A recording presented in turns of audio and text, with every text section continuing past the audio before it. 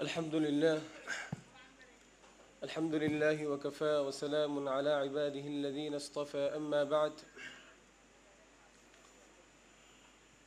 উপস্থিত ওলামাই কেরাম সম্মানিত মেহমান ও আজকের এই দিনই প্রোগ্রামের দায়িত্বশীল ভাইয়েরা ও দূর দূরান্ত থেকে শত ব্যস্ততার মাঝেও আমাদের মাঝে উপস্থিত আজকের আমাদের দিনী ভাই ও বোনেরা, আসসালামু আলাইকুম রহমতুল্লাহ আমরা মহান আল্লাহর দরবারে শুক্রিয়া আদায় করছি যে আল্লাহ তাআলা আমাদেরকে সুন্দর একটি পরিবেশে স্বদেশি ভাষায় আল্লাহ তালা আমাদেরকে দিনের ওয়াজ, নসিহত, কোরআন এবং হাদিসের আলোকে কিছু দিনই কথাবার্তা শোনার জন্য আল্লাহ তালা আমাদেরকে তৌফিক দিয়েছেন, আমরা বলি আলহামদুলিল্লাহ। আমি আল্লাহর শুক্রিয়া পরে যারা আজকের এই প্রোগ্রামের জন্য অক্লান্ত পরিশ্রম করেছেন, তাদেরও শুক্রিয়া আদায় করছি এবং যারা এই প্রোগ্রামের আয়োজন করেছেন, তাদেরকেও, তাদেরও শুক্রিয়া আদায় করছি এবং ভবিষ্যতে যেন তারা এবং আমরা সবাই দিনের কাজে আরও বেশি বেশি আগ্রহী এবং দিন, দিনের প্রোগ্রাম করার জন্য চেষ্টা করি। সেজন্য আল্লাহ তালা আমাদেরকে সবাইকে তৌফিক দান করুক, আমিন। আমাদের, আমরা যারা বাহির থেকে এসেছি, আজকের এই প্রোগ্রাম যেন সুন্দর, সুন্দরভাবে সমাপ্ত হয়। সেজন্য আমরা, আমি, আমাদের আজকের যারা আয়োজন করেছেন, তাদের পক্ষ থেকে আপনাদের কাছে আশা করছি যে আপনারা আমাদেরকে সহযোগিতা করবেন যেন আমাদের এই দিনী প্রোগ্রাম সুন্দরভাবে সমাপ্ত হয়। আমাদের মাঝে আমাদের সম্মানিত মোহতারাম উপস্থিত আছেন। আমি আর সময় দীর্ঘায়িত করব না। আমাদের শেখকে পরিচয় করে দেওয়ার কোনো প্রয়োজন আছে বলে আমি মনে করি না, কারণ আপনারা সবাই অবগত আছেন। আমাদের শেখ, জনাব শেখ মোহাম্মদ মতিউর রহমান মাদানী, উনি দাম্মাম সৌদি আরবের দাম্মাম শহরে প্রায় আজ আঠারো বছর যাবৎ দিনের দায়ী হিসেবে দিনের কাজে কর্মরত আছেন। এবং আলহামদুলিল্লাহ, বিশেষ করে আমাদের বাংলা ভাষায় ভাষীদের জন্য খুবই আন্তরিকভাবে উনি দিনের কাওয়াত, দাওয়াত দিয়ে যাচ্ছেন যাতে আমরা উপকৃত হচ্ছি সঠিক এবং সঠিক দিনকে জানার জন্য আল্লাহ তালা আমাদেরকে ব্যবস্থা করে দিয়েছেন। যারা কোরআন এবং সুন্নার সঠিকভাবে দাওয়াত, দাওয়াতি কাজ করতেছে, আল্লাহ তালা তাদেরকে দুনিয়াতে ও আখেরাতে সম্মানিত করুক এবং আমাদেরকেও যারা কোরআন এবং হাদিসের সঠিক দাওয়াত দিয়ে যাচ্ছে, তাদেরকে সম্মান করার তৌফিক দান করুক।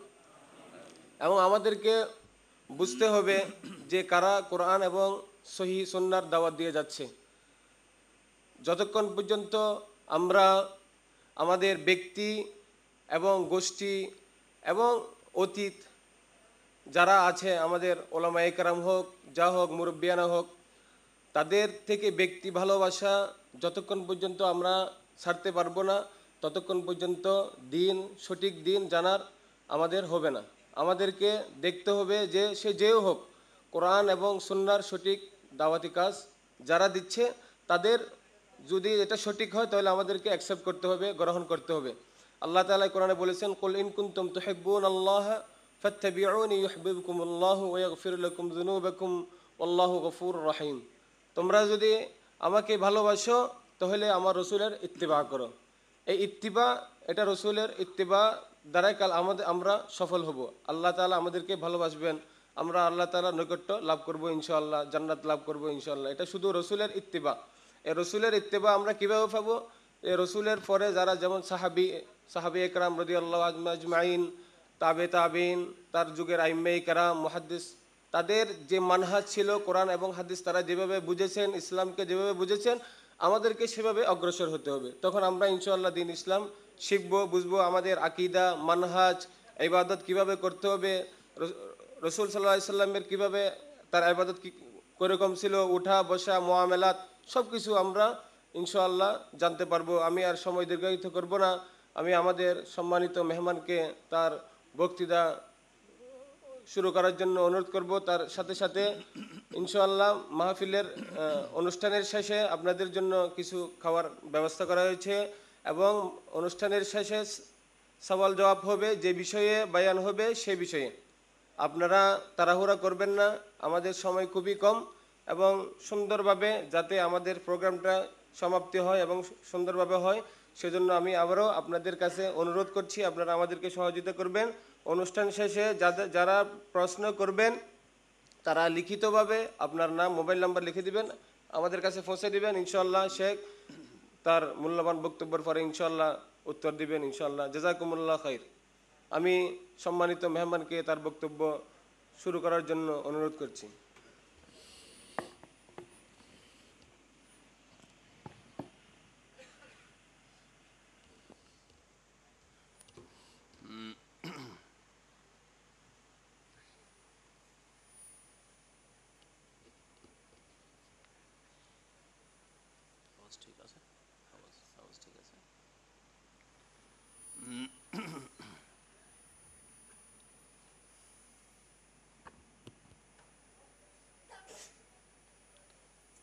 السلام عليكم ورحمة الله وبركاته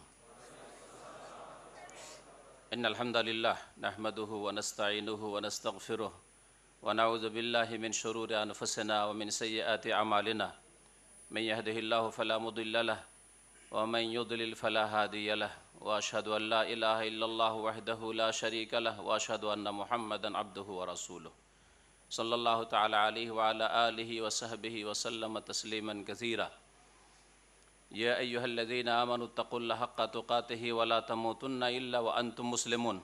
يا أيها الناس اتقوا ربكم الذي خلقكم من نفس واحدة وخلق منها زوجها وبث منهما رجالا كثيرا ونساء.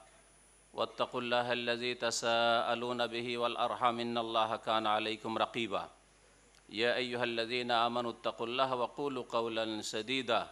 يصلح لكم أعمالكم ويغفر لكم ذنوبكم. अमयत व रसूल फ़क़द फ़ाज़ फ़ौज़न अज़ीम अम्माबाद फ़ैन खैर हदीस किताबुल्ला व खैर हदी हदी महमदिन सल्ला वसम व शर्रमूर महदसात वकुल्ल महदसतिन बिदा वकुल्ल बिदातिन दलाल वकुल्ल दलालतिन फ़िन्नार आउज़बिल्लाशैतरजीम ऑफ़िसमाय रिज़क़ुम वमातू आदून मोहतरम कराम সম্মানিত দিনী ভাই এবং বোনেরা, আল্লাহ রাবুল আলমিনের প্রশংসা, হামদোসানা গুণগান, নবী করিম সাল্লাহ আলি সাল্লামের সুন্নতি খুদুবার মাধ্যমে পেশ করেছি। আল্লাহ পাক যেন কবুল করেন। তারপরে রসুল্লাহ সাল্লাহ সাল্লামের ওপর সালাত, সালাম পেশ করেছি। আল্লাহ রবুল্লা আলম যেন কবুল করেন। আল্লাহ রবুল্লা আলমিনের প্রশংসার পরে মানুষের সুক্রিয়া আদায় করাও আবশ্যক, তাই সুক্রিয়া আদায় করি। ওইসব দিনই ভাই বোনদের যারা এখানে হাজির হয়েছেন, সরাসরি অনেক দূর দূরান্ত থেকে। একমাত্র কোরআন এবং সন্ন্যার কথা শোনার জন্য। আর কোরআন সন্ন্যার কথা, ওয়াহির কথা, আল্লাহ রবুল আলমিনের কথা, তার রসুল সাল্লা সাল্লামের কথা শুনে আমরা ইসলামী জীবন গড়ব। সেই অনুযায়ী আমরা আমল করব। এর মাধ্যমে আল্লাহ রব্বুল আলমীর সন্তুষ্টি হাসিল করব। দুনিয়া আখেরাতকে আমরা সুন্দর করব। এই নেক নিয়ত নিয়ে যেসব ভাই বোনেরা হাজির হয়েছেন, আল্লাহ যেন তাদেরকে উত্তম প্রতিদান দান করেন যাজায় খায়ের দান করেন, তাদের সুক্রিয়া আদায় করি। তারপরে শুক্রিয়া আদায় করি ওই সব ভাইদের, বিশেষ করে যারা এখানে বিশেষ সহযোগিতা করেছেন বাংলা ভাষায় এই দুবাইয়ে। কালিমা সেন্টারে এই প্রোগ্রামকে কামিয়াব করার জন্য, সফল করার জন্য আল্লাহ রব্বুল আলম তাদের যেন যাজায় খায়ের দান করেন, তাদের নেক আমলকে যেন কবুল করেন, তাদের দাওয়াতে যেন আল্লাহ রব্বুল আলমিন বরকত দান করেন কোরআন সুন্নার দাওয়াতে। শুক্রিয়া আদায় করি কালেমা সেন্টারের, আল্লাহ রব্বুল আলমিন কালিমা সেন্টারের যে কোনো যারা কর্মকর্তা তার সাথে যারা জড়িত, আল্লাহ সকলের যেন নেক আমল কবুল করেন এবং তাদের দাওয়াতকে যেন কবুল করেন। শুনে খুশি হইলাম যে যতগুলি প্রতিষ্ঠান রয়েছে, ইসলামিক প্রতিষ্ঠান এই দুবাই বা এই আরব আমিরাতে, তার মধ্যে এক নম্বর স্থান হাসিল করেছে এই কালিমা সেন্টার, আলহামদুলিল্লাহ। এটা বড় খুশির খবর। আর এমনিতে এটা হাসিল হয় না। আল্লাহ রব্বুল্লা আলমিন কাজ করতে বলেছেন ওকুলে ইমালু ফাসায়ার আল্লাহ আমালাকুম ওয়া রাসূলুহু ওয়াল মুমিনুন। আল্লাহ রব্বুল আলম নবী মোহাম্মদ সাল্লাহ সাল্লামকে সম্বোধন করে বলছেন যে, হে নবী, তুমি মানুষকে জানিয়ে দাও যে এ মালু তোমরা কাজ করো, কর্ম করো। আল্লাহ রব্বুল আলম কর্ম করতে বলেছেন ফাঁসে আর আল্লাহ আমালাকুম। নিঃসন্দেহে আল্লাহ রব্বুল আলম তোমাদের কাজ প্রথমে দেখছেন। আল্লাহ দেখছেন, যিনি তোমাদের ইহকাল পরকালে দেবেন প্রতিদান, যিনি সাদরে গ্রহণ করবেন ভালো মানুষের ভালো কাজ, তিনি দেখছেন।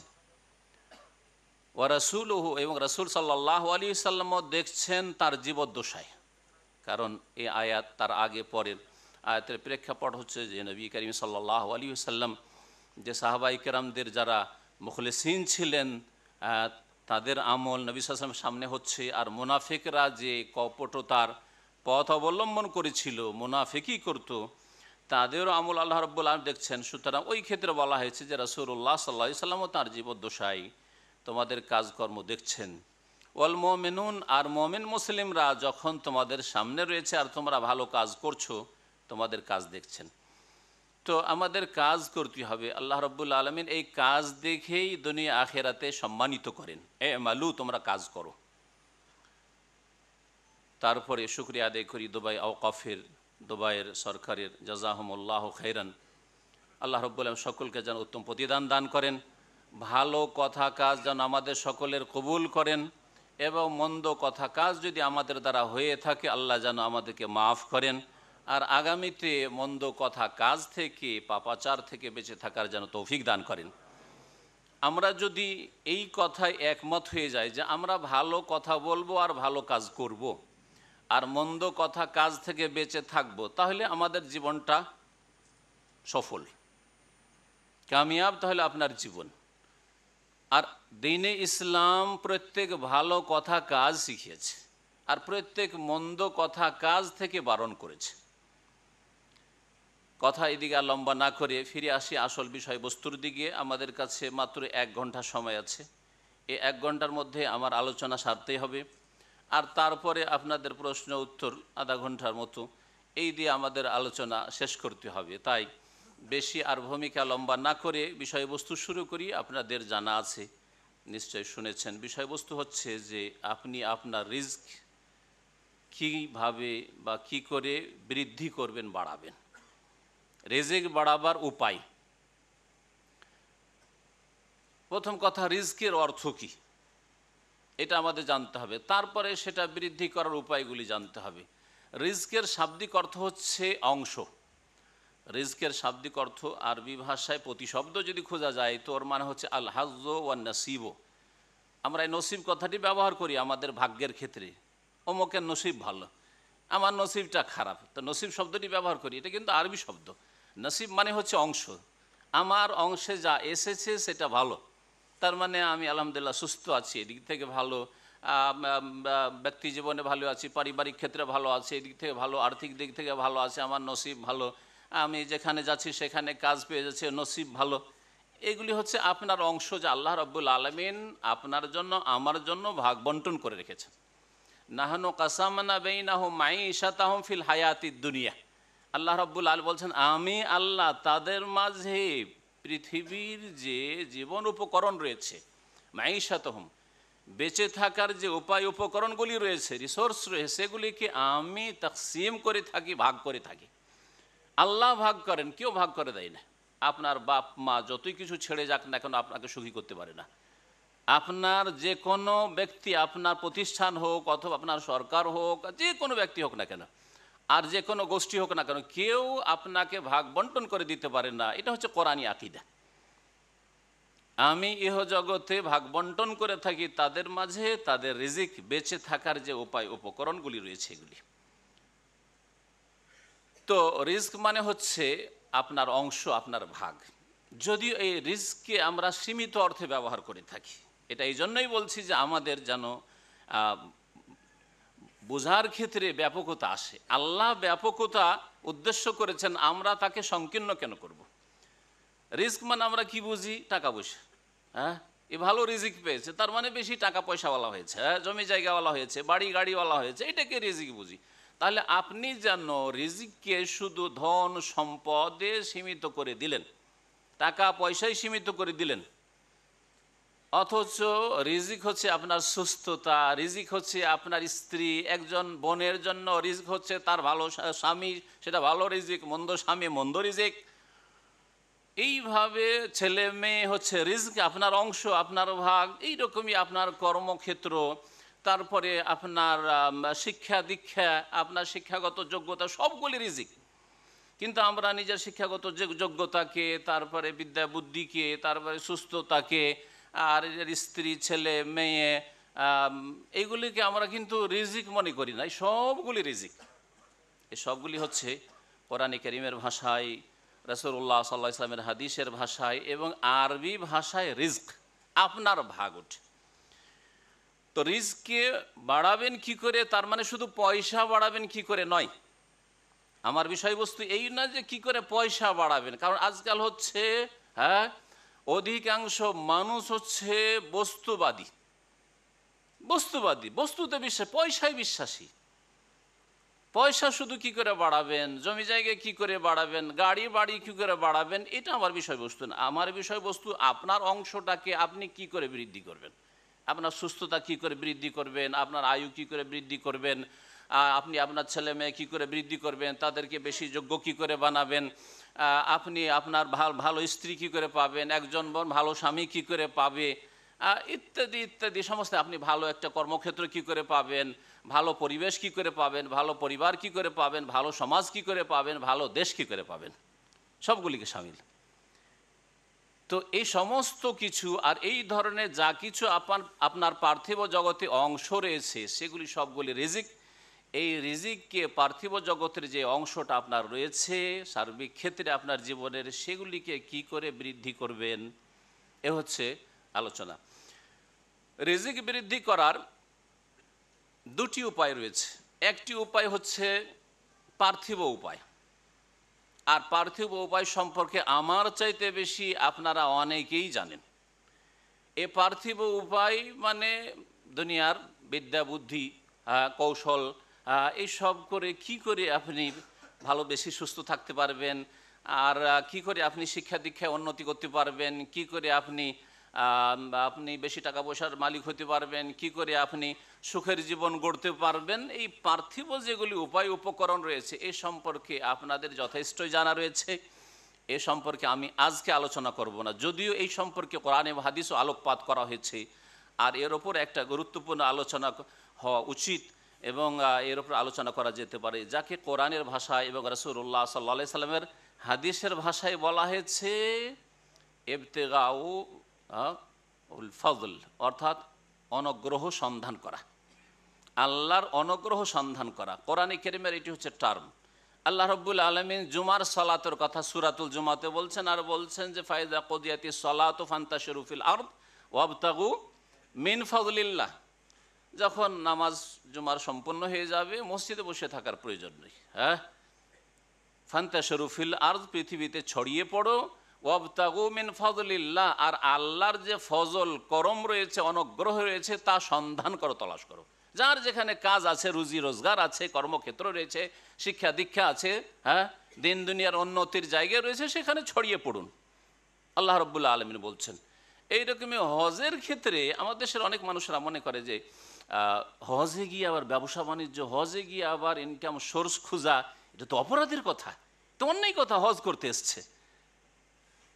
হিন্দুদের ধর্মের মতো আমাদের এক শ্রেণির লোকেরা দিন ইসলামকে করে দিয়েছে। দিন ইসলাম দুনিয়া বৈধভাবে উপার্জনের পরিপন্থী নয়। হালাল উপায়ে যদি দুনিয়ার যে কোনো উন্নতি করেন, যেটা দিন ইসলাম বিরোধী না হয়, তাহলে তাতে কোনো আপত্তি নেই। বরং সেটা আল্লাহ রব্বুল্লাহ নিয়ামত সেখান থেকে গ্রহণ করতে বলেছেন। ওলা তানসা নসিবা কামিনার দুনিয়া। কারণের ঘটে আল্লাহ বলছেন যে, দুনিয়াতে তোমার যে অংশ রয়েছে, এখানে নসিব। যে নসিব শব্দটি বলছে রিজিকের প্রতি শব্দ নসিব বলা হয়েছে কারণের ঘটনায় সোরে একাশ আছে। তোমার যে অংশটুকু রয়েছে পৃথিবীতে, সেটা তুমি উপেক্ষা করিও না, ভুলে যেও না। ওটাও নিও তাহলে আপনার সুযোগ সুবিধা আছে, আর হাত গুটিয়ে বসে থাকবেন, বাড়িতে বসে থাকবেন, বিবি সাহেবের সাথে আপনি চব্বিশ ঘণ্টা গল্প করবেন কাজ কর্মে যাবেন না হ্যাঁ? আর বলবেন যে, আমি বেকার সমস্যায় ভুগছি। না মুসলিম বেকার হয় না। মুসলিম হয় দিনের কাজ করে, না হয় দুনিয়ার কাজ করে। আবার যে, যেই ব্যক্তি কাজে লেগে থাকে, হয় দুনিয়ার কাজ করে, আর দুনিয়ার কাজ না থাকলে দিনের কাজ করে। দিনের কাজ শেষ হলে দুনিয়ার কাজে নেমে যায়, সে আবার বেকার কোথায়? এটা মুসলিম কখনো বেকার সমস্যায় ভুগে না। এগুলি ভুল কথা। তো আল্লাহ রব্বুল আলমিন হজের ক্ষেত্রেও বলছেন যে, লাইসা আলাইকুম জুনাহুন আন্তাব তাগু ফজলাম্বির রব্বিকুম। তোমাদের কোনো পাপ নেই। সুরে বাকারে আল্লাহ রব্বুল বলেছেন, লাইসা আলাইকুম জুনাহ। তোমাদের কোনো অন্যায় হবে না, গোনাহ হবে না। আন্তাব তাগু ফজলাম্বির রব্বিকুম। তোমাদের প্রতিপালকের যদি অনুগ্রহ তোমরা সন্ধান করো। কখন? আলোচনা চলছে হজ সম্পর্কে আর হজের কার্যাবলী সম্পর্কে হ্যাঁ? হজের আয়াতগুলির মাঝখানে আল্লাহ নিয়ে এসছেন। হজে মেনায় আছেন আরাফে আছেন মুজদালিফ আছেন, ওর মাঝখানে আপনি ব্যবসা বাণিজ্য কিছু করতে পারবেন বা হজে এসে মক্কে আছেন, মদিনায় আছেন। লেইসা আলাইকুম জোনাহুন আন্তাবতাগু ফদলামির রব্বিকুম। তো বলছিলাম যে কোরআনে কেরমে দুনিয়ার যেগুলি উপায় উপকরণ রয়েছে পার্থিব্য, আর যার মাধ্যমে আপনি আপনার রিস্ককে বৃদ্ধি করবেন, এগুলি আপনাদের জানা আছে। আপনি অসুস্থ অথবা যে কোনো সমস্যা রয়েছে, সমস্যার সমাধান কোথায় আছে ভালো করে বুঝেন। কোন ডাক্তার দুনিয়ার ক্ষেত্রে কিন্তু আপনার আমার চাইতে অনেক বেশি বুঝেন হ্যাঁ যে শরীর অসুস্থ, কোন ডাক্তারের কাছে যেতে হবে? এই ক্ষেত্রে আপনাকে বুঝাইতে হবে না। ফুটপাত থেকে কখনো ঔষধ নেবেন না। দিনের ক্ষেত্রে শুধু অবুজ। ফুটপাত থেকে ইসলাম নেন আপনারা। হ্যাঁ? ফুটপাথ থেকে ইসলাম নেন। দলিল থাক আর না থাক, সুরসার আছে কি না আছে? সুরসার থাকলেই হলো। মধুর সুরে বলছে আর কিচ্ছা কাহিনী বলছে, সিরকি বিদাতে কিচ্ছা কাহিনী বলছে, তারপর অসুবিধা নাই। হ্যাঁ? যদি আপনাকে বলা হয়, ফুটপাতে মাইকিং করে কেউ ওষুধ বিক্রি করেছে, ওষুধ নেবেন? শরীর খারাপ? কখনো নেবেন না আপনি। সুগারের ওষুধ, প্রেশারের ওষুধ সস্তায় পাচ্ছেন আপনি। আর বাড়ির সামনে পাচ্ছেন, ফেরিওয়ালা বিক্রি করছে। কখনো নেবেন?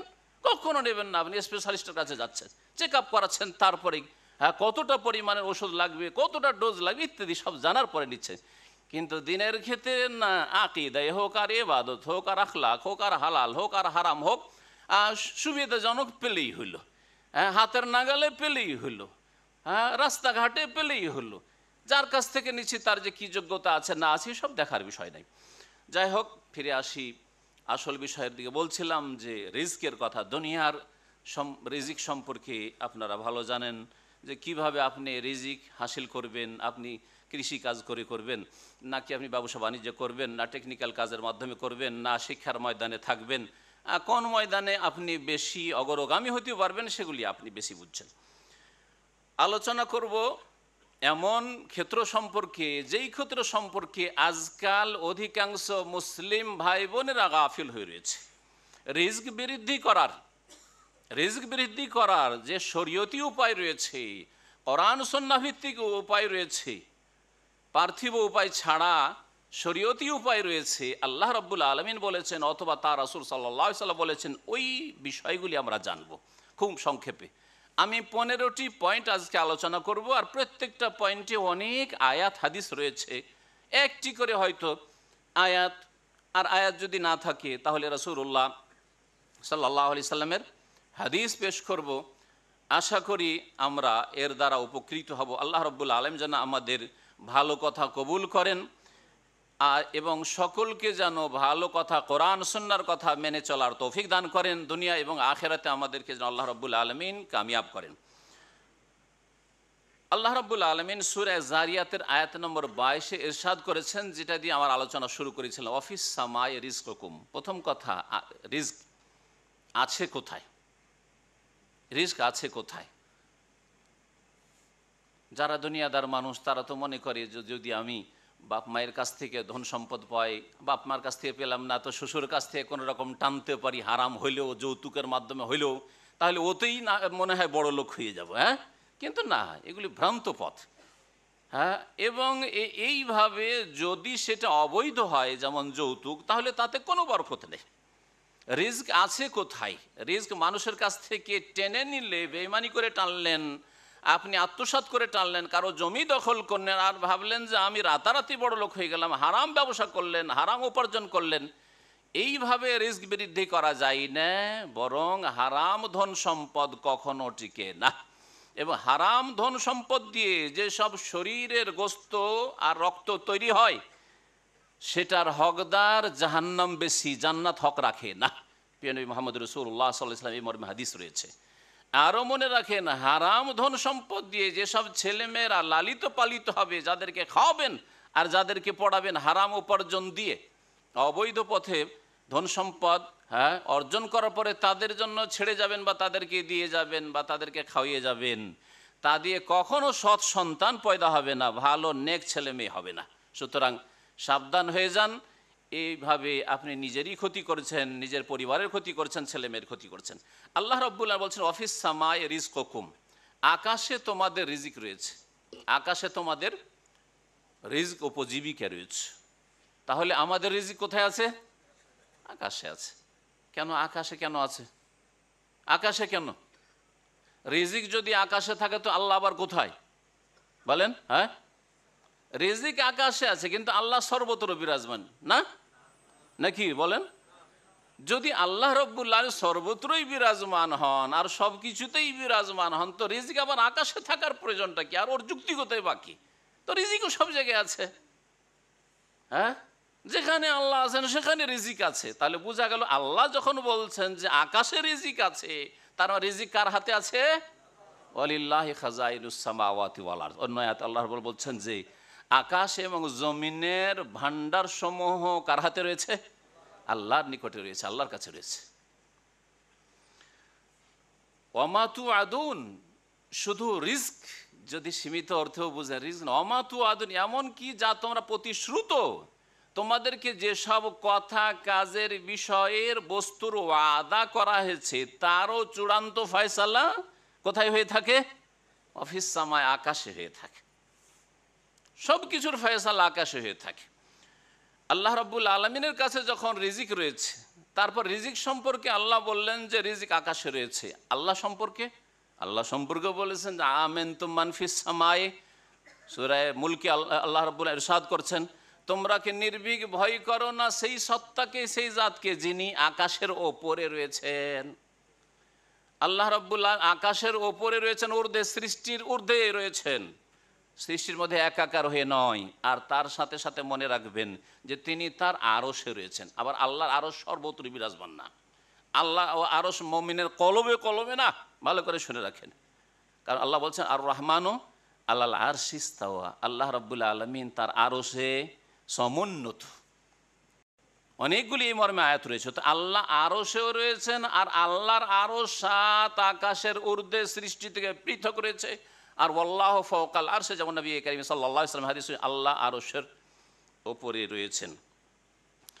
সেখান থেকে রিজিকের ফয়সালা হয়ে থাকে। তাহলে আল্লাহ রব্বুল আলমিনের অসন্তুষ্টির মাধ্যমে, আল্লাহ রব্বুল আলমিনের বিরুদ্ধাচরণের মাধ্যমে, নাফরমানির মাধ্যমে, আল্লাহ রব্বুল আলমিনকে অস্বীকার করার মাধ্যমে, আল্লাহ রব্বুল আলমিনের হ্যাঁ বিরুদ্ধে কাজ করবেন, তার দিনের বিপরীত কাজ করবেন, আর মনে করবেন যে আমি রিজিক পাবো, খুব সুখ শান্তি পাবো, না, এটা উপায় নয়। আল্লাহর সন্তুষ্টির মাধ্যমে রিজিক হাসিল করতে হবে। আল্লাহ রব্ব রিজিক সম্পর্কে সুরে আনকাবতের আয়াত নম্বর ষাটে আরও এর এরশাদ করেছেন যে মানুষ এমন একটি জাত, এমন একটি মখলুক যে মানুষ যতগুলি প্রাণী মখলুকাত রয়েছে সবগুলির মধ্যে সবচেয়ে বেশি চিন্তিত নিজের রিজিক সম্পর্কে। যতগুলি মখলুকাত রয়েছে, গরু, ছাগল, আর পশু, পাখি, যা কিছু কীট পতঙ্গ হ্যাঁ স্থলে আর পানিতে, যেখানেই হোক না কেন, যত প্রাণী রয়েছে, সমস্ত প্রাণীর মধ্যে সবচাইতে বেশি শঙ্কিত, ভয়ে ভীত, কি করে খাব হচ্ছে মানুষ। অথচ মানুষ সবচাইতে শ্রেষ্ঠ প্রাণী হ্যাঁ? ঠিক কিনা? আল্লাহ তাদের সম্পর্কে বলছে, ওয়ালাকাদ কার্রাম আদম। আদম সন্তানকে আমি নিঃসন্দেহ সম্মানিত করেছি। আর আদম সন্তানকে জ্ঞান, বিবেক, বুদ্ধি আরও বহু, আর সবচেয়ে উত্তম উত্তম তাদের জন্য নিয়ামত হ্যাঁ? পানাহারের বস্তু, ব্যবহারের বস্তু দিয়েছেন, আর তাদের যোগ্যতাও বেশি দিয়েছেন অন্য অন্য প্রাণীর চাইতে। তারপরেও তারা সবচাইতে বেশি শঙ্কিত। ভয়ভীত যে কি করে চলবে, কি করে খাবে, কি করে বিয়ে করব, কি করে সংসার চলবে হ্যাঁ দেশে চলে গেলে কি হবে? মনে হচ্ছে দেশে গেলে আর রব নেই হ্যাঁ? এখানে রব ছিল মালিক আর দেশে গেলে রব নেই। আরে যেই রব এখানে আপনাকে রিজিক দিচ্ছেন, সেই রব হ্যাঁ দেশে গিয়েও ওই সেখানে রব আছেন। সেখানে আল্লাহ নামাতে শুরু করবে। ওখান থেকে, আকাশ থেকে ওখানে নামা শুরু হবে। আপনি ভয় করিয়েন না। প্রিয় মোহাম্মদ রসুল্লাহ সাল্লাহ সাল্লাম রিস্ক সম্পর্কে ভয় করতে নিষেধ করেছেন। ফাওয়াল্লাহ, আল্লাহর কসম করে বলছি সহি বখারের হাদিস, লাস্ত আখসা আলাইকুমুল ফাকর। হে আমার উম্মতের লোকেরা, তোমাদের জন্য আমি দারিদ্রের ভয় করি না, অভাবের ভয় করি না না খেয়ে মরে যাবে এই ভয় করি না। ওয়ালাকিন্নি আকশা আলাইকুম আন্তুবসাতা ওয়ালাকিন আকশা আন্তুবসাতা আলাইকুম দুনিয়া। তবে আমাকে ভয় লাগছে যে তোমাদের জন্য দুনিয়াকে বিস্তীর্ণ করে দেওয়া হবে। দুনিয়ার ধন সম্পদ অঢেল তোমাদেরকে দিয়ে দেওয়া হবে। পয়সার অভাব নাই। দেখেন, আজকে থেকে বিশ বছর আমরা যখন স্কুল মাদ্রাসায় যেতাম, তো নাস্তাও পেতাম না। আর আজকে নাস্তা করিও পাঠান, আর কত কি যে বেঁধে দিয়ে পাঠান ছেলে মেয়েকে হ্যাঁ? অভাব নেই। পোশাকের অভাব নেই। আমাদের একটা দুটো জামা দিয়ে আমাদের ছাত্র জীবন চলে গেছে। ঠিক কি না তাহলে এখন আরও অভাবী হচ্ছেন। লোক সংখ্যা বাড়ছে। অভাবী হচ্ছেন না পয়সা আলো হচ্ছেন? অভাবী হচ্ছেন কেউ? এমন কেউ আছে যে, ভাই, বিশ বছর, ত্রিশ বছর আগে খুব সুখী ছিলেন, এখন আরও অভাবী হচ্ছে। এমন আছে? পৃথিবীতে খুঁজে মনে হয় পাবেন না আপনি। ইল্লা মাশা আল্লাহ নবী করিম বলছে, তোমাদের জন্য অভাবকে ভয় করি না যে তোমার অভাবই হয়ে যাবে, খেতে পাবে না। তবে ভয় করছি যে বেশি পয়সা হয়ে যাবে, ধন সম্পদ বেশি হয়ে যাবে। ফাতানা ফাসুহা হ্যাঁ ফাতানা ফাসুফিহা কামা তানা ফাসুহা তোমরা ওই রকমই ঝাঁপিয়ে পড়বে পয়সার দিকে, ধন সম্পদের দিকে। আর দিনকে, আল্লাহকে, পরকালকে, আখেরাতকে, নামাজকে, তৌহিদকে, সুন্নতকে, ইসলামী শিক্ষাকে সবকে ভুলে যাবে। ঝাঁপিয়ে পড়ে পয়সার দিকে, যেমন ঝাঁপিয়ে পড়েছিল তোমাদের পূর্বের জাতিরা। ফাতুহুলে কুকুম কামা আহলাকাথুম ওইভাবে ধন সম্পদ তোমাদেরকে ধ্বংস করবে, যেইভাবে আগের জাতি ধ্বংস ধ্বংস হয়েছে ধন সম্পদের কারণে। কারণ ধ্বংস হয়েছে, ফেরাউন ধ্বংস হয়েছে, আর এইরকমই তাদের অনুসারীরা বহু যুগে যুগে ধ্বংস হয়েছে। তাদের ধন সম্পদের অহংকারে আর পার্থিব সামগ্রী পেয়ে। সুতরাং কখনো রাসূলুল্লাহ সাল্লাহ সাল্লাম ভয় করেননি, দারিদ্রকে, অভাবকে আপনি একজন মুসলিম হিসাবে ভয় করবেন না। আল্লাহ রব্বুল্লাহ বলছেন, ওয়া কাইয়িম মিন দাব্বাতিল্লাহ তাহমিলু রিজকাহা। বহু প্রাণী রয়েছে, অসংখ্য প্রাণী রয়েছে পৃথিবীতে, লা তাহমেল রিজকাহা, তারা নিজের রিজিকটা বহনই করতে পারে না। আরে, আমরা তো যথেষ্ট বহন করতে পারি। আপনি যদি ধান চাল বেশি বহন না করতে পারেন হ্যাঁ টাকা পয়সা সারা পৃথিবীর যে কোনো জায়গায় নিয়ে যেতে পারেন, ঠিক না? টাকা পয়সা সাথে যদি না রাখতে পারেন, আজকাল ব্যাংকের মাধ্যমে যতই টাকা হোক না কেন পাঠিয়ে দিচ্ছেন। করছেন না করছেন না? হ্যাঁ? যদি দেখেন যে, না রে ভাই, এত টাকা একসাথে পাঠা যাবে না। আরও যে কত রকমের তরিকা আছে আপনাদের কাছে, আল্লাহ জানে। তাই না? পাঠাবার।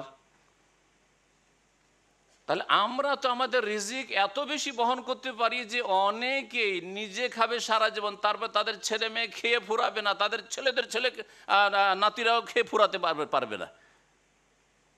আর অসংখ্য প্রাণী রয়েছে, লা তাহমেল রিজকা আল্লাহ বলছে ওরা এক, এক- একটা সময়ে রিজিক বহন করতে পারেন যা খেয়ে নিল খেয়ে নিল, কালকে যে কী খাবে, এর জন্য বহনই করতে পাখি বহন করতে পারে, বাসায় বহন করে নিয়ে যায়।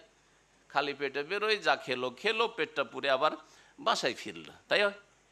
হ্যাঁ তারপরের দিন আবার সকালে বেরোইতে হয়, খালি হয়ে যায় সকালবেলা, আবার সকালে বেরোইতে হয়। লা তাহমেল কাহা অসংখ্য প্রাণী রয়েছে কীট পতঙ্গ রয়েছে। পশু পাখি রয়েছে আল্লাহ, কে রিজিক দেয় ওদেরকে আবার?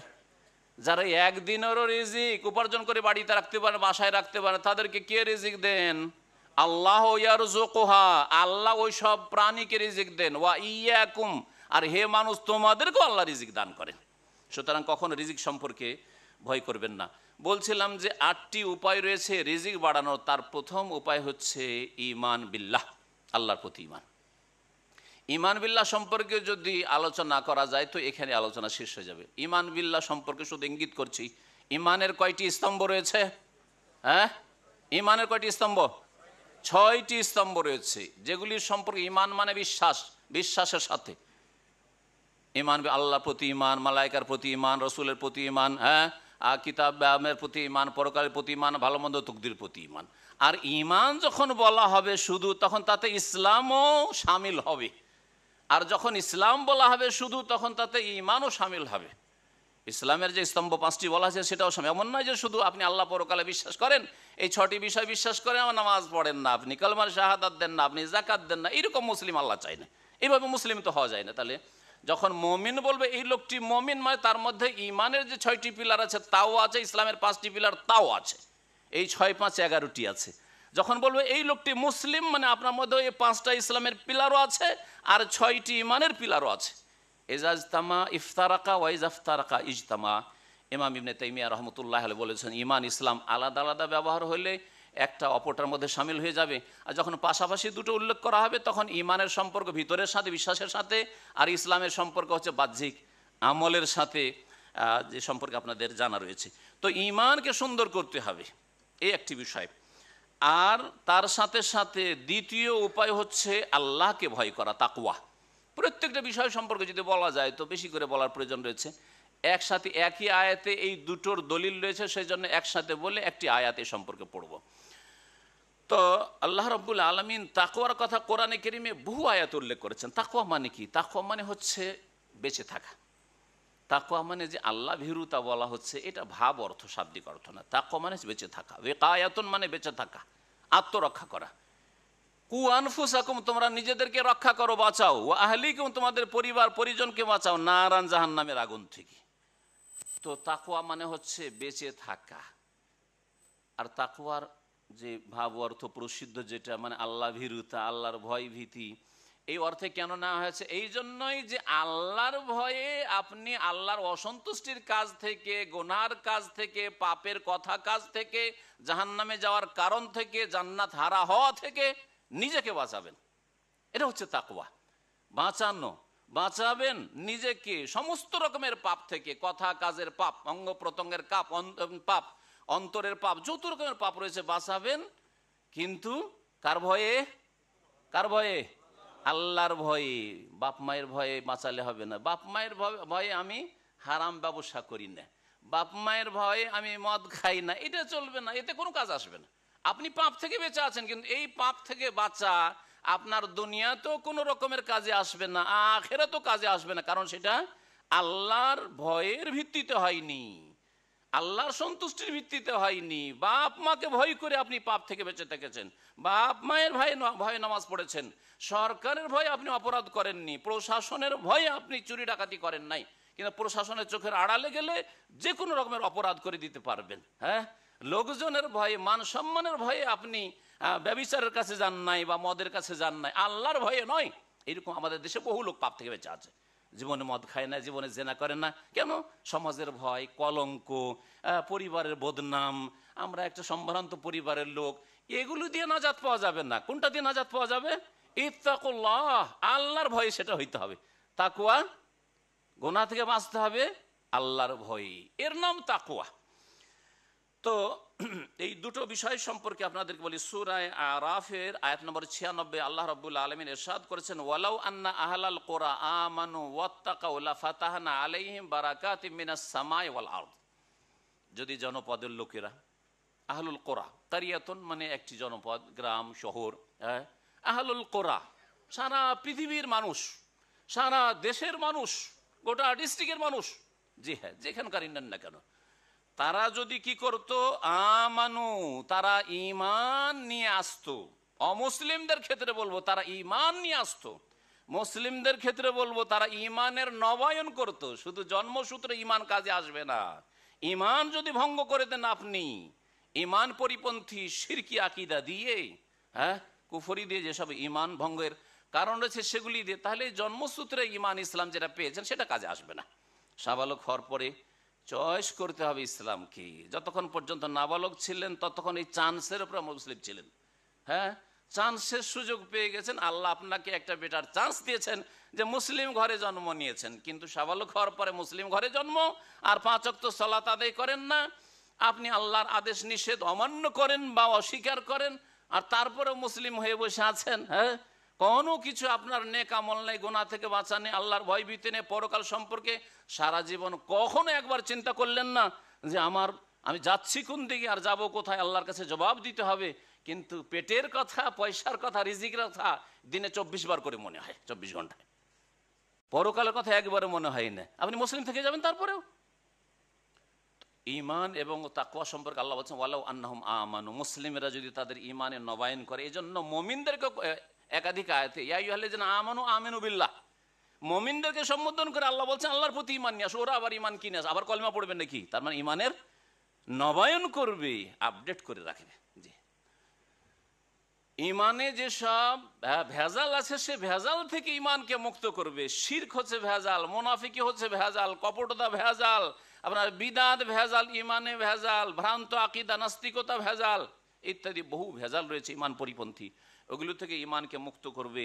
ওয়াত্তাকাও আর তারা যদি পাপ মুক্ত হইত, তারা পাপ মুক্ত হতো আল্লাহর ভয়ে, তাহলে লাফাতাহান আলিহ বারাকাতি মিনাস সামাই ওয়ালা, তাদের জন্য আমি বরকত সমূহ খুলে দিতাম, আল্লাহ বলছেন। বরকত একটি বরকত না, আল্লাহর একটি বরকত আমাদের জন্য যথেষ্ট বেশি। আল্লাহ এখানে বহু বচন বলেছেন, বারাকাতি মিনাস সামাই, আকাশ থেকে বরকত সমূহ আমি খুলে দিতাম আল্লাহ রব্বনে বলছেন, আল্লাহর ওয়াদা। আল্লাহর ওয়াদা। আর জমিন থেকেও খুলে দিতাম, কিন্তু তারা তা মানেনি তারপরে তাকুয়া সম্পর্কে আরও কোরআন কিরিম আয়াত রয়েছে, তার তাকুয়ার উপকারিতা, বহু উপকারিতা রয়েছে। তার মধ্যে একটি হচ্ছে যে অমাইয়া তাকিল্লাহ ইয়াজ আল্লাহ মাখরাজা। সুরে তালাক আল্লাহ বলে বলছেন শুরুতেই, আয়াত নম্বর দুই অমাইয়া তাকিল্লাহ যারা আল্লাহকে ভয় করে গোনা থেকে বেঁচে থাকে, তাদের জন্য আল্লাহ রব্বুল আলমিন রাস্তা এক্সিট নিকাশ অবশ্যই বের করে দেবেন। আল্লাহর ভয়ে যদি গোনা থেকে বেঁচে থাকেন, তাহলে আপনার জন্য রাস্তা খুলে দেবেন, সুস্থতার রাস্তা খুলে দেবেন ছেলে মেয়েদের শিক্ষা দীক্ষার রাস্তা খুলে দেবেন, রুজির রাস্তা খুলে দেবেন হ্যাঁ ভালো স্ত্রী পাওয়ার রাস্তা খুলে দেবেন, ভালো স্বামী পাওয়ার রাস্তা খুলে দেবেন। এ যে আল্লাহ মাখরাজা। আর কোরআনের কথা, আম, ব্যাপক। এই নয় যে শুধু মুসিবতের সময় রাস্তা খুলবেন, এ কথা তো আল্লাহ বলেন নাই যে আমি শুধু বিপদের সময় রাস্তা খুলবো। সুখে, দুঃখে সবসময় আল্লাহ রব্বর রাস্তা খুলবেন, কিন্তু তাকুয়া অর্জন করতে আল্লাহর ভয়ে গনা ছাড়তে হবে। আল্লাহর ভয়ে নেকির কাজ করতে হবে। ওয়ার জোকোহ মিন হাইসুল আয়াহতাসিব আর যারা আল্লাহর ভয়ে গোনা থেকে বাঁচে, তাদেরকে আল্লাহ রেজেকে দেবেন এমন এমন জায়গা থেকে যে লায়াহতাসিব সে কল্পনা করতে পারে না কল্পনা করেছিলেন যে হ্যাঁ দুবাই আরব আমিরাতে আপনার রুজি হবে? কল্পনা করতে পারেননি যে আমি একটা চাষির ঘরের ছেলে, আমি একটা শিক্ষিত হইতে পারব? কল্পনা করতে পারেননি। কল্পনা করেছিলাম যে আমিও কোনো দেনি এলিম পেয়ে দুটো কথা আপনাদের সামনে বলতে পারব? কখনো না। আল্লাহ রব্বুল আলমিনের এইগুলি ওয়াদা ওয়ার জোকহমিন হাইসুল আয়াত আল্লাহ রেজেকে দেবেন যদি তাকোয়া থাকে, তাহলে এমন এমন ক্ষেত্র থেকে যে কল্পনা আপনি করতে পারেন নাই। আল্লাহ রব্বুল আলমী নিজের কাজ অবশ্যই পুরা করবেন। আয়াতের শেষ ইন আল্লাহ বালে আমরেহি। আল্লাহ রব আল্লাহর কাজ করবেন। আল্লাহ আল্লাহর কাজ করছেন, আপনি আপনার কাজ করুন। আমি, আপনি, আমরা, আমাদের কাজ করি। আমাদের কাজ হচ্ছে আল্লাহ আমাদেরকে কি জন্য সৃষ্টি করেছেন?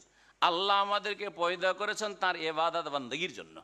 তার আদেশ নিষেধ জীবনের সার্বিক ক্ষেত্রে মেনে চলার জন্য। আমরা যে, যতটা পারছি ততটা আমাদের জীবনে মেনে চলার চেষ্টা করব। যতটা পারছি মানে এই নয় যে একজন হঠাৎ করে বলবেন যে, ভাই, আমি তো তিন অক্ত নামাজ পড়তে পারছি। না, আপনার সাথে দুর্বল পাঁচ অক্ত পারছে। হ্যাঁ অনেক সম্মত পঞ্চাশও পেরেছে হয়তো। আপনি পারবেন না কেন? এটা কথা নাই। পারছি মানে আমার ব্যক্তি জীবনে পারছি, পারিবারিক ক্ষেত্রে পারছি, সামাজিক ক্ষেত্রে, সমাজের উপর আপনার নেতৃত্ব নেই। সুতরাং যতটা আপনি পারছেন সমাজ সংস্কারের অর্থনীতির ক্ষেত্রে, আপনি আপনার অর্থনীতিতে আপনি হারাম ঢোকাবেন না, হারামে খরচ করবেন না, আপনি পারছেন, আলহামদুলিল্লাহ। এইরকমই যেই সব ক্ষেত্রে যতটা যে পারছেন, ফত্তাকুল্লাহ মস্তাতাতুম, তোমরা আল্লাহকে ভয় করো, সাধ্য মতো। আল্লাহ রবলে বলেছেন, তিন নম্বরে বলব যে, রিজিক বাড়াবার উপায় হচ্ছে আল্লাহ রাবুল আলমিনের দিকে ফিরে আসা যেটাকে কোরআনের ভাষায়, রসুলের হাদিসের ভাষায় তওবা বলা হয়। তওবা মানে ফিরে আসেন, ভুল পথে চলে গেছেন, আল্লাহ থেকে দূরের রাস্তায় চলে গেছেন, এমন রাস্তা ধরে নিয়েছেন, পাপের রাস্তা যেই রাস্তা আল্লাহ থেকে দূরে করে দিচ্ছে। এই রাস্তায় যদি চলতেই থাকেন কন্টিনিউ করেন, তাহলে যত যাবেন আপনি এই পথে, তত বেশি আল্লাহ থেকে দূরে হয়ে যাবেন। ইউটার্ন করে ফিরে আসেন।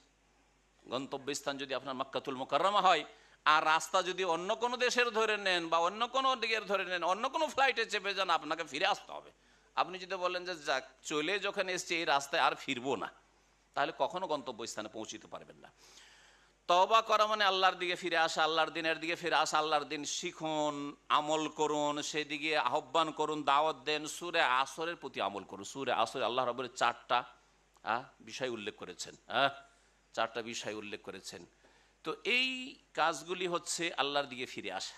আল্লাহর মসজিদের দিকে ফিরে আসেন, পাঁচ অক্ত সলাতের দিকে ফিরে আসেন, আপনি ইসলামিক জীবন গড়ার দিকে ফিরে আসেন। আর ফিরে আসার সাথে সাথে অতীতে যেসব পাপ হয়েছে, ভুল হয়েছে, অন্যায় হয়েছে, জানা অবস্থায় অথবা অজানা অবস্থায়, তার জন্য ইস্তেকফার করুন মানে আল্লাহর কাছে মার্জনা কামনা করুন তবা ইস্তেকফার করা। আর এর উপকারিতা সম্পর্কে অনেক আয়াত কোরআনে কেরমে রয়েছে। আমি একটি আয়াত বলি, সুরায় নুহ থেকে। আল্লাহ রব্বর সুরায় নুহের আয়াত নম্বর দশ এবং বারোতে এরশাদ করছেন। নূ আলি সাল্লামের দাওয়াতের কথা জানেন যে, সাড়ে নয়শো বছর ধরে, সাড়ে নয়শো বছর শুধু তিনি ইসলামের দাওয়াত দিয়েছেন তার জাতিকে।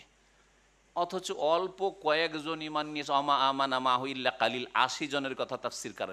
আশি জনকে হেদায়াত করতে পেরেছিলেন আল্লাহর এক বিশাল শ্রেষ্ঠ রসুল। হ্যাঁ পাঁচজন রসুলের একজন নূ আলী ইসলাম আপনার মতো লোকের দ্বারা, আমার মতো লোকের দ্বারা যদি জন হয়তো সাকসেস পাঁচজন হলে কামিয়াব। আপনি কখন নিরাশ হবেন না? যে লোক হেদায়ত হয় না, আমার কথা শোনে না। না না আপনার কাজ হচ্ছে মেহনত করা, আল্লাহর কাজ। একটু আগে বললাম, আল্লাহর কাজ আল্লাহ করবেন। হ্যাঁ কাকে ফিরাতে কার অন্তরকে ফিরাতে আর আপনার কাজ হচ্ছে রাস্তা দেখিয়ে দেওয়া। আপনার কাজ হচ্ছে রাস্তা দেখিয়ে দেওয়া, আর আল্লাহর কাজ হচ্ছে গন্তব্য স্থানে পৌঁছিয়ে দেওয়া, তৌফিক দেওয়া।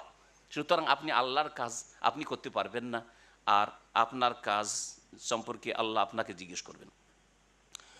নূ আলাইহিস সালাম বলছেন ফাকুল তোস্তাগফিরু রব্বাকুম। হে আল্লাহ, আমি ওদেরকে বললাম, ইস্তাগফিরু রব্বাকুম, জাতিকে বললাম, তোমরা তোমাদের রবের কাছে ক্ষমা চাও, মার্জনা কামনা করো। ইন্নাহু কানা গাফফারা।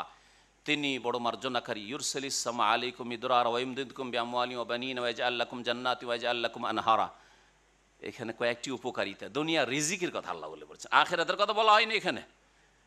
নূ আলি সাল্লামের ভাষায় আল্লাহ বলছেন, কোরআনে কিরিম আল্লাহ রব্বুল আলম নকল করেছেন নূ আলি সাল্লামের কথা। ইন্নাহু কানা গাফফারা, তিনি বড় মার্জনাকারী। ইউরসালিস সামা আলাইকুম ইদরারা তোমরা যদি আল্লাহর কাছে ক্ষমা চাও, সংশোধন করে ফিরে আসো, তাহলে তোমাদেরকে আল্লাহ মুসুলধর বৃষ্টি দান করবেন? আর বৃষ্টির মাধ্যমেই রিজিক আছে। বৃষ্টি না হলে কেউ রিজিক পাবে না, পয়সা দিয়ে কেউ খেতে পাবে না। আর তারপরে বলছেন ওয়ুম দিদকুম বি আমওয়াল আর তোমাদের সাহায্য করবেন মদত করবেন, ধন সম্পদ দিয়ে। তাহলে ধন সম্পদ বাড়াবার উপায় হচ্ছে তবা ইস্তেগফার করা, আল্লাহ পাক বলছেন। ওয়া বানিন, আর যার নিঃসন্তান রয়েছেন, বিবাহ শাদী করতে পারেন নাই, আশা করছেন নেক সন্তানের, যারা ছেলে মেয়ে হয়েছে, কিন্তু শঙ্কিত আছেন যে ছেলে মেয়েগুলি ভালো হবে কিনা, শিক্ষা দীক্ষা নেবে কিনা। ও বানিন, এবং আল্লাহ রব্বুল আলমিন সন্তানও দেবেন। তাহলে আল্লাহর কাছে ফিরে আসলে, ভুল স্বীকার করে তবা ইস্তেফার করে ফিরে আসে, আল্লাহ রব্বুল আলমিন এই নিয়ামতগুলি দেবেন। ওয়াজ আল্লাহ কুম জান্নাত, আর বাগান লাগবে, ফসল লাগবে, আল্লাহ বলছে, তোমাদেরকে আল্লাহ বহু বাগান দেবেন। ওয়াজ আল্লাহ কুম আনহারা, তোমাদেরকে অনেক নদী নালাও দেবেন আল্লাহ রব্বুল আলমিন। নদী নালা শুকিয়ে যাবে না, পানির অভাবে ফসল মরে গেল। হ্যাঁ উৎপাদন হলো না, দেশের লোক খেতে পাচ্ছে না এরকমটা হবে না। আর এমন বেশি পানি হবে না যেটা আজাব হয়ে যায়, রহমত না হয়ে আজাব হয়ে যায়, সেটাও হবে না। তো বলছিলাম যে এই ইস্তেকফার এবং তবা তিন নম্বর বিষয় যার মাধ্যমে রিজিক আসে, সেটা বেশি বেশি করবেন। নবী করিম সাল্লা সাল্লাম দিনে কতবার করে আল্লাহর কাছে ক্ষমা চাইতেন? হ্যাঁ? এক হাদিস রয়েছে, একশো বার করে, আর এক হাদিস রয়েছে সত্তর বারের বেশি হ্যাঁ? এত বেশি, অথচ রাসুল্লাহ সাল্লাহ সাল্লামের কোনো আইন নেই। আর যদি ধরেই নেন যে ধরেন বড় মানুষের ছোট একটু যদি কিছু হয় সেটাই যদি ভুল ধরেন তাহলে নবী করিম সাল্লাম সম্পর্কে আল্লাহ অগ্রিম ঘোষণা করে দিয়েছেন লিয়াক ফের আল্লাহ মা তাকাদ্দামিন জাম্বি কামা তাখারা তোমার হ্যাঁ তোমাকে এই জন্য আল্লাহ বিজয় দান সুরাতুল ফাতের শুরুতে আল্লাহ রব্বর বলছেন যে তোমাকে আল্লাহ রব্বর এই জন্য বিজয় দান করে ফাতে মবিন। এই জন্য দিয়েছেন হ্যাঁ, মক্কা বিজয় দান করেছেন হোদাইবিয়ার সন্ধি দান করেছেন। কি জন্য? এই জন্য যে লিয়াক ফির আল্লাহ আল্লাহ তোমার ভুল ভ্রান্তি ক্ষমা আমার জন্য করে দিতে চান। মা তাকাদ্দামিন জাম্বি কামা তাকার ভুল ভ্রান্তি যদি আগে হয়ে থাকে, অথবা পরে হয়ে থাকে, সব কিছুর অগ্রিম ঘোষণা যে মার্জনা করে দিলাম। আল্লাহ রব্বুল আলামিন। তারপরে রসুল্লাহ সাল্লাহ সাল্লাম আমাদের মতো মানুষকে, আপনাদের মতো মানুষকে শিক্ষা দেওয়ার জন্য দিনে একশত বার করে আস্তাক ফেরুল্লাহ পড়তেন ওয়াতুবেলি আস্তাক ফেরুল্লাহ ওয়াতুবেলি আস্তাক ফেরুল্লাহ ইলা ইলাহ ইল্লাহ আলহাইউল কাইয়ুম ও আতুবেল এই দুটি ইস্তেকফারের দোয়া নবী কেমিসাল পড়তেন যদি আরবিতে মুখস্থ থাকে। ভালো কথা, নবীর সন্নতি দোয়া পড়লেন, আর না হয় নিজের ভাষায় তবা করেন। আবার বানিয়ে সানিয়ে নিজের ভাষা দিয়ে আরবিতে বলবেন না। যেমন আস্তাক ফেরুল্লাহ রব্বি মিন যা মাঝখানে। আমার দেশের তবাতে এটা পড়ানো হয়। রব্বি মিন করলে যাম অতুবেলে কোনো হাদিসে নেই। যখন নাই তো আপনি কেন বাড়াবে? রসুল্লাহ সাল্লাহ সাল্লাম হাদিসে। আমার মনে হয় না বাড়িয়ে হয় নিজের বাংলা ভাষাই বলেন আপনি। এই অন্তর লাগিয়ে আর না হলে আরবি ভাষা বলে রসুল্লাহ সাল্লাম মোবারক ভাষা দিয়ে বলেন, যেই ভাষা, যেই বাক্যটি রসুল্লাহ সাল্লাহ সাল্লাম ব্যবহার করেছেন। হাসান বাসির রহমতুল্লাহ কাছে এক লোক এসে অভিযোগ করল যে দুর্ভিক্ষ দেখা দিয়েছে দেশে। অনাবৃষ্টি দেখা দিয়েছে। বলে ইস্তাকফেরিল্লা যা আল্লাহর কাছে ক্ষমা চাও বা ইস্তাকফার করো। আরেকজন লোক কিছুক্ষণ পরে এসে বলছে যে, খুব দারিদ্র অভাব, খেতে পাচ্ছি না, ছেলে মেয়ে খুব কষ্ট হচ্ছে। অভাব, আর্থিক অভাব। বলেন ইস্তাকফিরিল্লাহ আল্লাহর কাছে ক্ষমা চাও। তৃতীয় ব্যক্তি আসলো, আসার পরে বলছে যে হাসান বাসির রহমতুল্লাহ প্রখ্যাত তাবি, তাকে বলছেন যে, আমার ছেলে মেয়ে হয় না, নিঃসন্তান অনেক দিন হয়ে গেল বিবাহ, শাদী। তো কি করব, সমাধান বলেন, দেখি আমি কি করতে পারি। বলছে ইস্তাকফিরিল্লাহ আল্লাহর কাছে ক্ষমা চাও। এইরকম বেশ কিছু লোক কয়েকজন লোক এরকম জিজ্ঞেস করতে থাকল। তখন হাসান বাসির রহমতুল্লাহ আল্লাহর সাথে তার ছাত্ররা যে বসেছিল, তারা বলল যে, ওস্তাদ, আপনি কেমন কথা বললেন? প্রশ্ন বিভিন্ন আর অ্যান্সার হচ্ছে একরকম। হ্যাঁ? একজন বলল যে, দুর্ভিক্ষ হ্যাঁ অনাবৃষ্টি। আর একজন বলল যে, আমার অভাব, আর্থিক অভাব। আর একজন বলল যে, আমার ছেলে মেয়ে হয় না। আর একজন কোন বালা মুসিবত, রোগ ইত্যাদি। আর সবাইকে বললেন যে ইস্তাকফিরিল্লাহ ইস্তাকফিরিল্লাহ ইস্তাকফির আস্তাকফিরুল্লাহ পড়ো। তো কেমন কথা?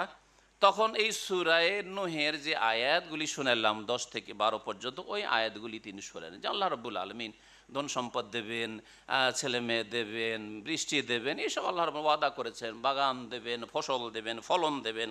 জি। তো তারপরে চার নম্বর বলি। চার নম্বরে রিজিক বাড়াবার শরীয়তি উপায় হচ্ছে আল্লাহ ভরসা। আল্লাহর উপর আস্থা ভরসা করা। আল্লাহর ভরসা মানে কর্মহীনতা নয়। যেমন এক শ্রেণির লোকেরা আল্লাহ ভরসার নাম দিয়ে নিজের যুবতী স্ত্রীকে ছেড়ে দিয়ে আর তারপরে ছেলে মেয়েকে ছেড়ে দিয়ে আর তার হয়তো বৃদ্ধ বাপ মা আছে, তারাও রুজি রোজগার করতে পারে না। আর চলে গেল, কোথা থেকে কোথায় চলে গেল? আল্লাহ ভরসা। তো আল্লাহ রব্বুল আলমিন তো এইভাবে চলে যেতে বলেন নাই। এইভাবে তো আল্লাহ রব্বুল আলমিন চলে যেতে বলেন নাই। বরং কর্ম করতে বলেছেন।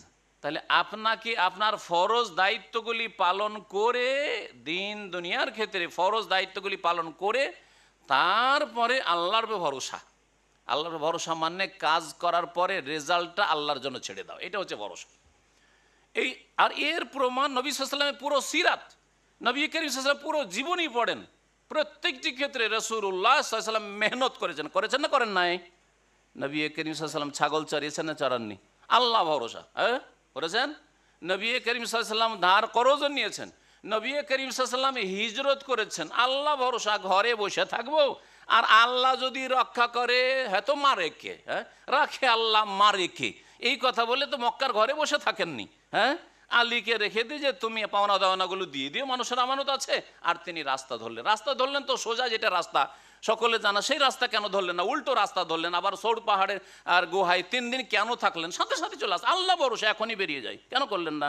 তাহলে বোঝা গেল যে দুনিয়ার উপায় উপকরণ অবলম্বন করতে হবে, মেহনত পরিশ্রম করতে হবে, আর তারপরে তখন রেজাল্ট আল্লাহর জন্য ছেড়ে দিতে হবে। রেজাল্ট আমার হাতে, আপনার হাতে নেই। নবী করিম সাল্লাম বদরে গেছেন, ওহদে গেছেন। ওহদে কেন যাবেন? মসজিদে নবীতে বসে থাকব, জিকির, আজকার করব, দুয়া, তসবি করব, আর নামাজে শেষদায় পড়ে থাকব। আল্লাহ ভরসা। এই তো করেন নাই রসুল্লাহ সাল্লাম তাহলে বোঝা গেল যে আল্লাহ ভরসা মানে কর্মহীনতা। নয়, বরং কাজ করার পরে অন্তরের আস্থা, ভরসা আপনার কাজের ওপর থাকবে না। যে আপনাকে কাজ দিয়েছে বস, তার ওপর থাকবে না। আপনার চাকরির উপর ভরসা থাকবে না। ব্যাংক ব্যালেন্সের উপরে ভরসা থাকবে না। জমি জায়গার উপর ভরসা থাকবে না। হ্যাঁ? বরং আপনার ভরসাটা হবে কার ওপর? আল্লাহর ওপর। কাজ করার পরে। কাজ করে রেজাল্টটা ছেড়ে দেন। রিজিক দেবেন, না দেবেন আল্লাহ জানেন কিন্তু আমার কাজ আমি করে যাই। আমার কাজ